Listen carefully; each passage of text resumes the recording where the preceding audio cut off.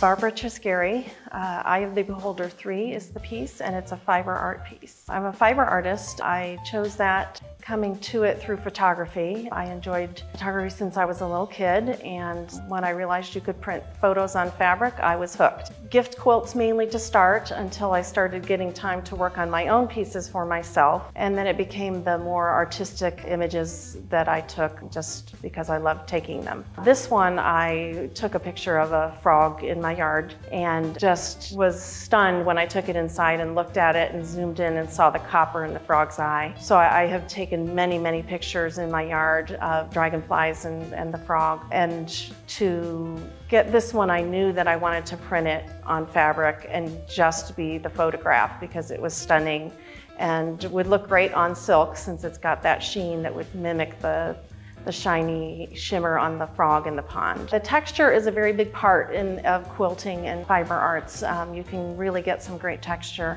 For my pieces, since they tend to be organic sub subject matters, I tend to do an organic quilting, more organic and flowy.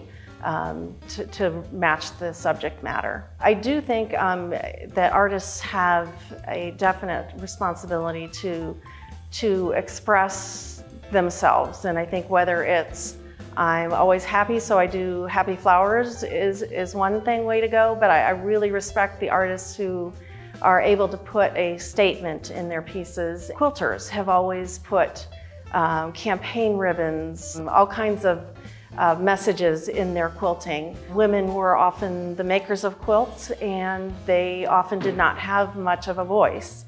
And so they used their medium to express things.